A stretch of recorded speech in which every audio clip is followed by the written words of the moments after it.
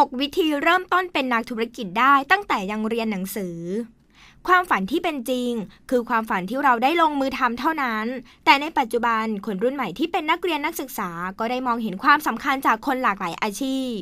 และแน่นอนว่า คนเหล่านี้ย่อมเป็นเหมือนแรงบันดาลใจที่นักเรียนนักศึกษากลุ่มนี้ มุ่งหวังว่าสักวันเขาจะต้องประสบความสำเร็จในชีวิตได้บ้าง ซึ่งทางไทยแฟรนไชส์เซ็นเตอร์จึงมี 6 วิธีเริ่มต้นเป็นนักธุรกิจได้ตั้งแต่ยังเรียนหนังสือมาฝากกันค่ะ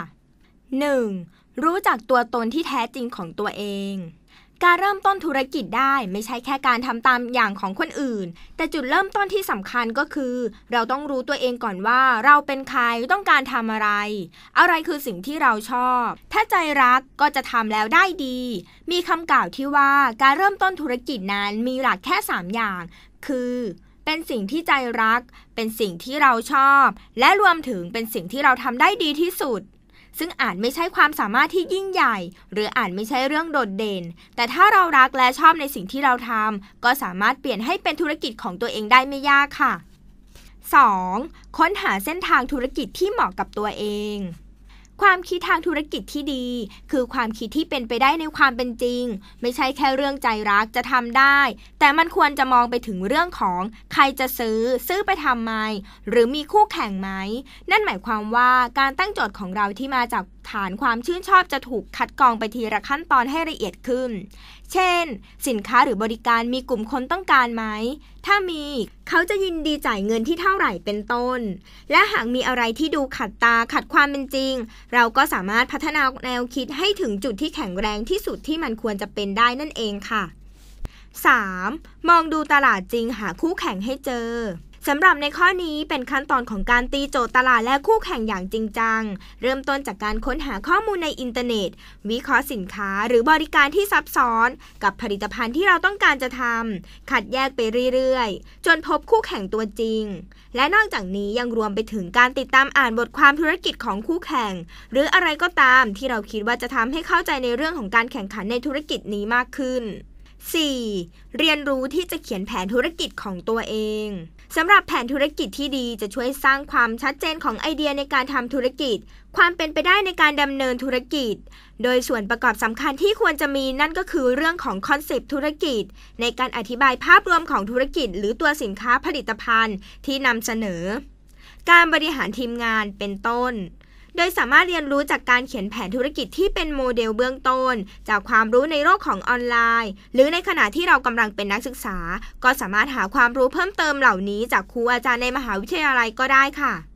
5. ต้องมีคนที่ให้คำปรึกษาคอยเป็นไกด์นำทาง ในความเป็นจริง นั้นเป็นเรื่องที่ดีค่ะ แต่ในฐานะนักเรียนนักศึกษา ผู้มุ่งหวังจะเป็นนักธุรกิจก็ต้องเข้าใจความจริงว่าเรายังอ่อนประสบการณ์ การเข้าสู่วงจรธุรกิจนี้ มีความเชี่ยวกาก หากปราศจากการแนะนำหรือคนที่คอยประคับประคอง ก็มีโอกาสเสี่ยงสูงมากค่ะที่เราจะผิดพลาด ด้วยเหตุนี้ หากคิดจะเป็นนักธุรกิจที่ประสบความสำเร็จ ก็ควรมีที่ปรึกษาที่ไว้ใจได้ และที่ปรึกษานั้นควรเป็นผู้เชี่ยวชาญในสาขาที่เราสนใจ ยิ่งถ้ามีผลงานที่ประสบความสำเร็จมาการันตีด้วยแล้ว ก็จะดีมากค่ะ ทั้งนี้เราอาจเพิ่มเติมความรู้จากการเข้าร่วมสัมมนาอบรม ที่มีการจัดในหลายที่อย่างต่อเนื่อง เพื่อเป็นการเปิดโลกกว้าง ทางการลงทุนให้มากยิ่งขึ้นนั่นเองค่ะ 6. ถ้ามั่นใจว่าชอบ ว่าใช่ ก็ใส่เกียร์เดินหน้าได้เลย หากเราก้าวจากจุดแรก มานานจนถึงขั้นนี้ได้ เรียกว่าเราก็มีความมุ่งมั่นเอาจริงเอาจังไม่น้อยค่ะ แน่นอนว่าทุกข้อที่เราทำมาจะไม่เสียเปล่า ยิ่งทำมาเข้มข้นเท่าไหร่ ตัวเราเองก็คือผู้ที่จะได้รับความรู้มากเท่านั้น และจากขั้นตอนนี้มันไม่ใช่เรื่องของทฤษฎี แต่มันคือการดำเนินธุรกิจบนสนามจริง ซึ่งทุกปัญหาหรือความสำเร็จจะเป็นบทเรียนชีวิต ที่จะไม่มีวันเกิดขึ้นหากคุณไม่ได้ลงมือทำดังนั้นจุดนี้จึงไม่มีอะไรน่ากลัว ทุกอย่างคือความรู้ประสบการณ์อันมีค่าหลายคนอาจพูดว่าเราไม่มีเงินทุน ไม่มีประสบการณ์มาก่อน คงไม่สามารถเริ่มต้นธุรกิจได้ แต่สิ่งเหล่านี้ล่ะค่ะ เป็นเพียงแค่ข้ออ้างของคนที่ไม่เอาจริง หากเราคิดจะทำอุปสรรคต่างๆ ก็เป็นเพียงโจทย์ปัญหาที่เราต้องแก้ไขนั่นเองซึ่งธุรกิจหลาย ๆ อย่างบนโลกที่เกิดขึ้น ไม่ได้เริ่มต้นอย่างสวยงามทั้งหมด บางคนล้มเหลวมาแล้วหลายครั้งกว่าจะสำเร็จ บางคนเริ่มจากศูนย์ก็สามารถพลิกชีวิตให้ยิ่งใหญ่ได้สำคัญที่ความคิดและความตั้งใจและการลงมือทำนั่นเองค่ะ และสำหรับท่านใดที่ต้องการข้อมูลข่าวสาร หรือการอัปเดตข้อมูลการตลาด แนวทางการทำธุรกิจ เรามีบทความมากมาย ไว้ให้ทุกท่านพิจารณาตามความเหมาะสม สามารถเข้าดูรายละเอียดเพิ่มเติมได้ที่ www.thaifranchisecenter.com สำหรับท่านใดที่ชื่นชอบในเรื่องราวของธุรกิจ